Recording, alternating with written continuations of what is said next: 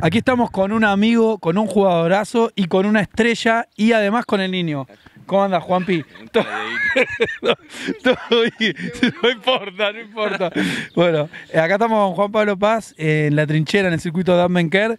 Juanpi, bueno, lo conozco de muy chiquitito, jugadorazo actual, pero además tiene un súper emprendimiento, la está rompiendo en YouTube, casi como vea tenis. Así que le voy a pasar el micrófono al niño, que es el tipo que te sigue, porque te voy a decir la verdad, Juanpi, no tuve tiempo ni de ver un.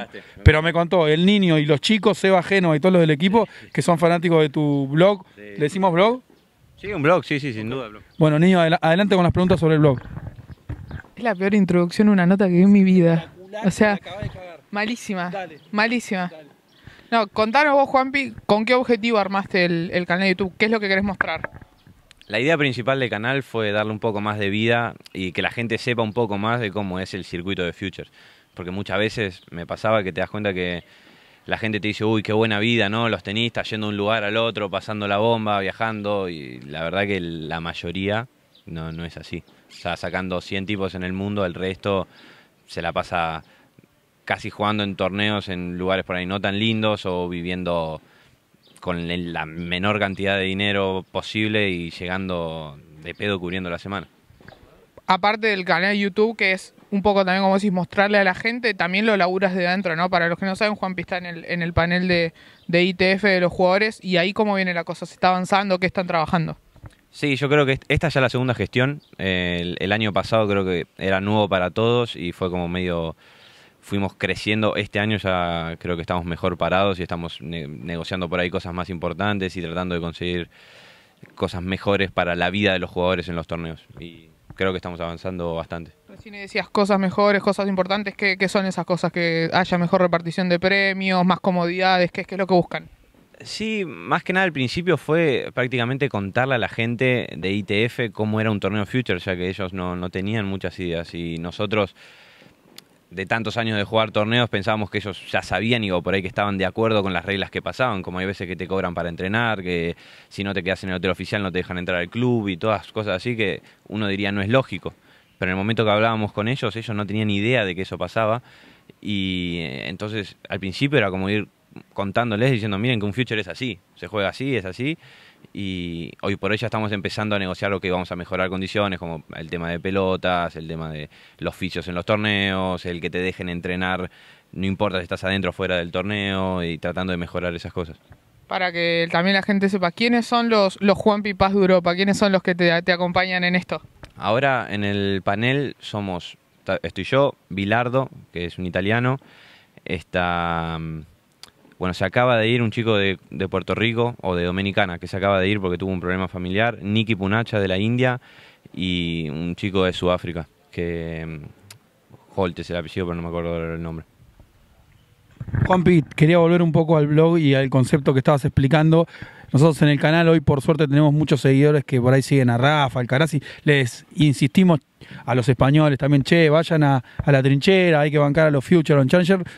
Un poco lo que vos estás mostrando es esa trinchera que nosotros llamamos, pero desde la cámara de un jugador, en primera persona. Sí, sí, sí, sin duda. Es, es eso, es mostrarle, la verdad, ir mostrándole a la gente cómo es un future en realidad. Que muchos no lo saben y ven lo que es la tele y ven lo que es un, cómo viven esos jugadores y piensan que es todo así, pero la, la realidad es otra para la mayoría de los jugadores. Y cuando desde que arranqué con el blog hubo mucha gente que quedó sorprendida y que no lo podía creer. Y mismo más por ahí con, con mi historia de vida que quizá un poco más particular, que hace, uh, ya sabes, la luchamos hace muchísimos años.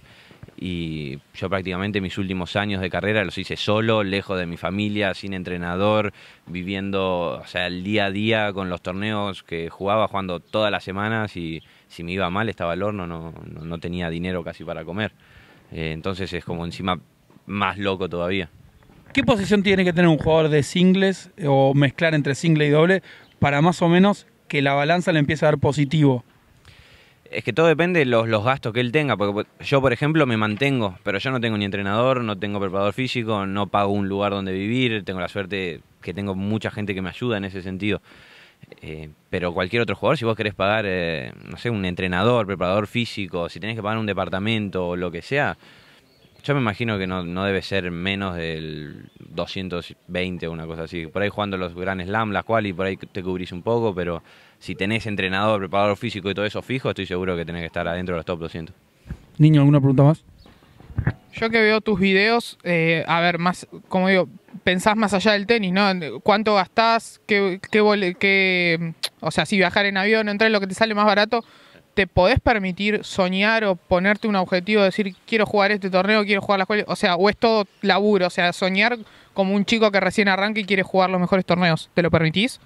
Hoy por hoy sí. Hoy por hoy arranqué, hace un par de meses ya arranqué con a ponerme objetivos más claros. Todo esto gracias a Pedrito Cachín, que fue el que me, ayudó a, terminar de convencerme en esto. Yo no era de ponerme objetivos, era porque me pasaba eso, me ponía objetivos, pero después me daba cuenta que no lo podía hacer porque no me daba el dinero, no me daban las cosas. Pero empecé a ponerme objetivos y empezar a ser eh, protagonista de mi realidad, ¿no? Y empezar a, a decir, loco, yo quiero hacer esto, bueno, voy a hacer todo lo posible para, para lograr el objetivo que quiero. Quiero que me cuentes la mejor anécdota de la temporada en algún viaje por Europa y de la trinchera europea.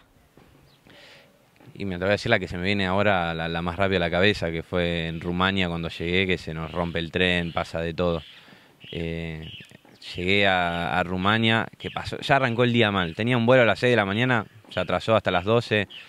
Ya me perdí todos los trenes que tenía que tomarme supuestamente para llegar a la ciudad esa en Rumania.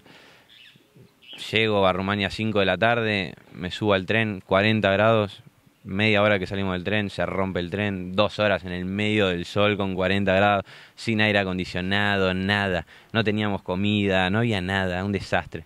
Y bueno, nos quedamos esperando hasta que venga el otro tren y fue algo muy lindo por ahí, gracioso. Había justo un grupo de, como de Boy Scouts, de los chicos, y un grupo se puso a cantar ahí al lado del tren y, y nada, fue lindo, que por lo menos fue media hora que estuvieron cantando, que, que la pasamos bien por lo menos. Y después a seguir esperando a que... Primero se nubló, en un momento se nubló y todo el mundo gritando, diciendo menos mal que se nubló porque estábamos muriendo de calor. Y terminar llegando, llegar a la una de la mañana, un desastre. Esa, esa anécdota está en, está en uno de los videos del canal de YouTube. Eh, ¿Cómo es? Juan Pablo Paz, ¿no? Sí, sí, como mi nombre, Juan Pablo Paz. No, iba a decir eso, niño. Dame el micrófono. No, mentira. Eh, iba a decir eso, que, que dijéramos bien en las direcciones y demás para que la gente que la banca la trinchera te siga y nosotros en el acá abajo en el video vamos a poner el link a tu canal. Dale, genial, no, me dan una mano de locos, más de ustedes que ya están eh, plantadísimos. Sí, ya están todos... La donación es para nosotros, para. No, mentira. Si lo podemos ayudar a Juanpi, lo vamos a ayudar. Espera, ¿es solo Juan Pablo Paz en YouTube? Solo Juan Pablo Paz. sí. Bueno, canal amigo de la trinchera. Éxito, Juanpi, gracias. Gracias, muchachos.